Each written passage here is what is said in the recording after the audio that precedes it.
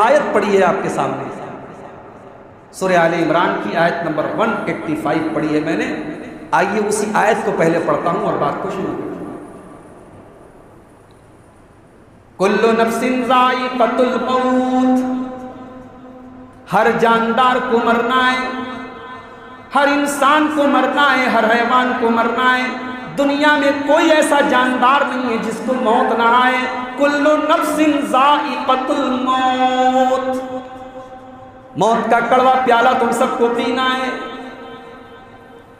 अब एक सवाल पैदा हुआ कि अय अल्लाह, जब सबको मरना है, अमीर को भी मरना है, गरीब को भी मरना है, ईमानदार को भी मरना है, बेईमान को भी मरना है, झूठे को भी मरना है और सच्चे को भी मरना है अच्छे को भी मरना है, बुरे को भी मरना है।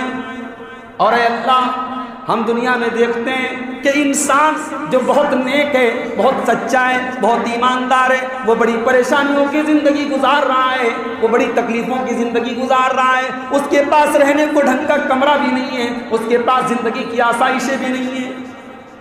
अच्छा इंसान है, नेक है, अल्लाह वाला है, परेशानी की ज़िंदगी गुजार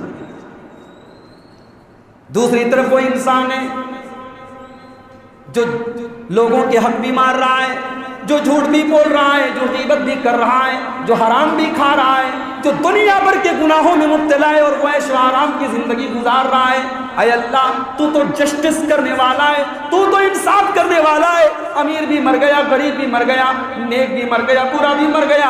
अगर दोनों मर गए और दोनों ने, दोनों की ज़िंदगी खत्म हो गई उस अच्छे इंसान को उसकी अच्छाई का फल नहीं मिला, उस बुरे इंसान को उसकी बुराई का बदला नहीं मिला तो आए अल्लाह, तेरा इंसाफ कहाँ गया? तू तो इंसाफ करने वाला है। अच्छे इंसान को उसकी अच्छाई का भी कोई फल नहीं मिला, बुरे को उसकी बुरी बुराई की कोई सजा नहीं मिली अय अल्लाह, इंसाफ कहाँ गया तेरा? तो अल्लाह ने इस सवाल का जवाब दिया।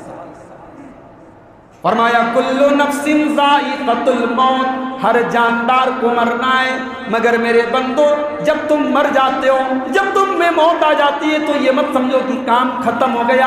अब तुम्हें हिसाब किताब नहीं देना है। तुम्हारी अच्छाइयों का तुम्हें कोई बदला नहीं मिलेगा। तुम्हारी बुराइयों की तुम्हें कोई सजा नहीं मिलेगी। नहीं नहीं। वही नमा तो कयामत के दिन तुम्हारे अमाल का तुम्हें पूरा पूरा बदला दिया जाए वो दिन आएगा जिस दिन तुम्हें पूरा पूरा बदला देना कितना बदला देना पड़ेगा? अब यहाँ रुक करके आप सही मुस्लिम की उस हदीस को अपने सामने अल्लाह के प्यारे नबी फरमाते हैं